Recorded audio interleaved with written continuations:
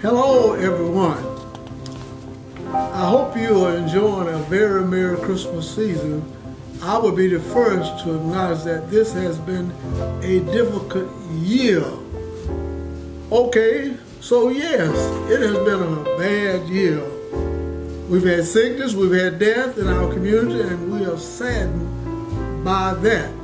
I myself went through a health scare when I came down with the coronavirus and later developed some additional problems. But I'm so thankful to be here with you and back to work as your mayor.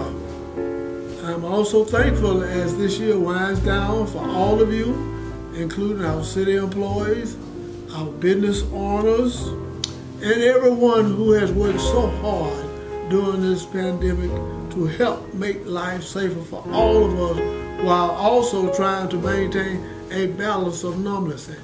Things may be a little different this Christmas season, but where there's love, there is hope. One of the things that I'm most proud of is that we are a set of people who care about one another and help each other when the goings get tough.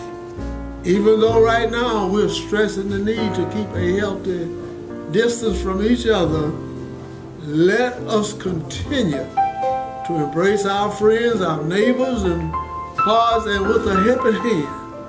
That's what the Christmas spirit is all about. And I believe in Enterprise. We live that spirit all through the year. We will get through these tough times and there will be a brighter day. Like all of you, I'm looking forward to a happy 2021. I believe we have good things coming our way in the new year. So let's look to the future with eagerness and enjoy this holiday as best as we can while staying safe.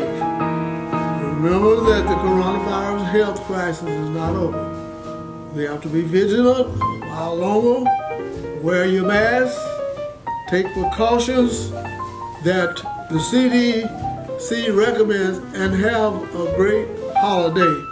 And should I say again, Merry Christmas and the most prosperous Happy New Year.